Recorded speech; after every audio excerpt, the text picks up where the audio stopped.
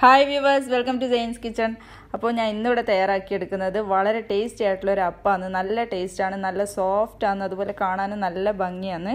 അപ്പോൾ ഈ ഒരു അപ്പം തയ്യാറാക്കാൻ വേണ്ടിയിട്ട് നമുക്ക് ഇത്ര ഇൻഗ്രീഡിയൻസ് ആണ് വേണ്ടത്.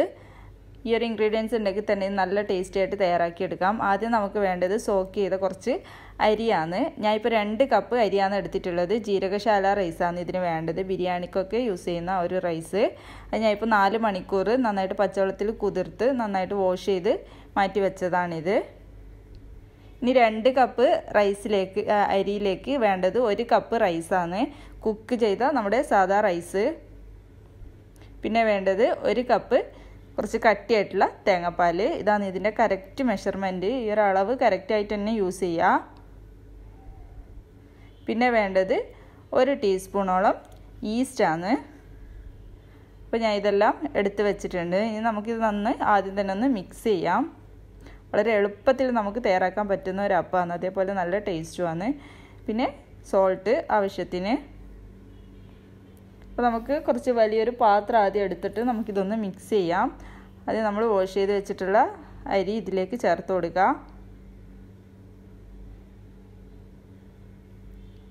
പിന്നീട് നമ്മൾ എടുത്ത് വെച്ചിട്ടുള്ള ആ ഒരു കുക്ക്ഡ് റൈസ് ഇതിലേക്ക് ചേർത്ത് കൊടുക്കാം.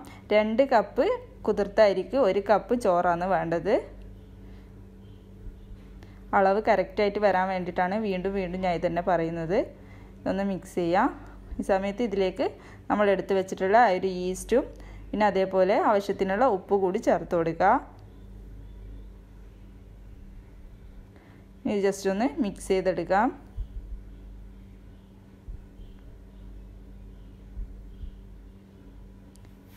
നന്നായിട്ട് മിക്സ് ചെയ്ത ശേഷം നമുക്കിതൊരു മിക്സിയുടെ ജാറിലിട്ടിട്ട് ഒരുപാട് വെള്ളം ചേർക്കേണ്ട ആവശ്യമില്ല. നമ്മൾ എടുത്ത് വെച്ചിട്ടുള്ള ആ ഒരു കട്ടി തേങ്ങാപ്പാൽ കുറേശ്ശെയായിട്ട് ചേർത്തിട്ട് അരച്ചെടുക്കുക.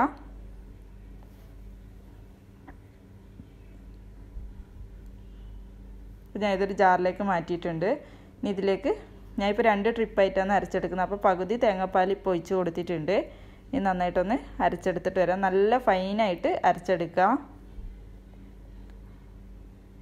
അങ്ങനെ ചെയ്യുമ്പോഴേക്കും നമ്മുടെ അപ്പം നല്ല സ്പോഞ്ചി ആവുന്നത് ഇതേപോലെ നന്നായിട്ട് നൈസായിട്ട് അരിച്ച് അരച്ചെടുക്കുക.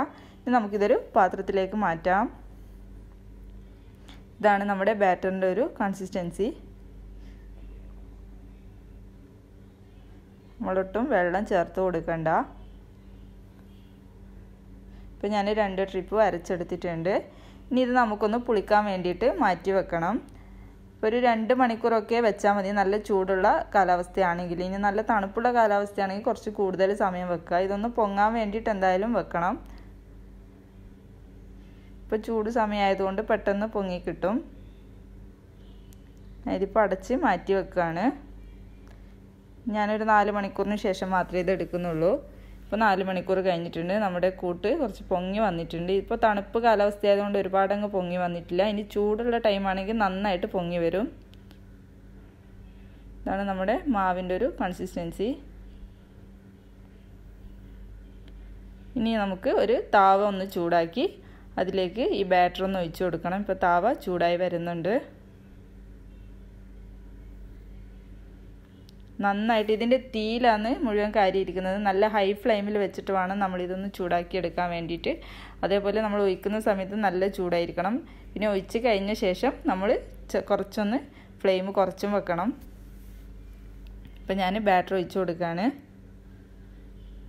ഇത് ഒഴിക്കുന്ന സമയത്ത് നല്ല ഫ്ലെയിമിലായിരിക്കണം അപ്പോൾ മാത്രമേ ഇതിൽ നല്ലൊരു ബബിൾ പോലെയൊക്കെ ഹോൾസൊക്കെ വരുള്ളൂ.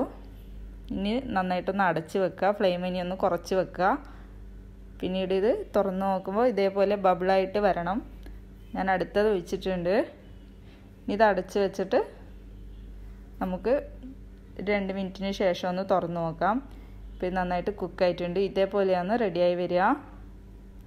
നല്ല സോഫ്റ്റാണ് അതേപോലെ നല്ല ടേസ്റ്റിയാണ് ബീഫ് ഫ്രൈയുടെ കൂടെയൊക്കെയാണ് നല്ലൊരു കോമ്പിനേഷൻ അപ്പോൾ എല്ലാവരും ട്രൈ ചെയ്ത് നോക്കുക. വീഡിയോ ഇഷ്ടമായാൽ ലൈക്ക് ചെയ്യുക ഷെയർ ചെയ്യുക കമന്റ് ചെയ്യുക.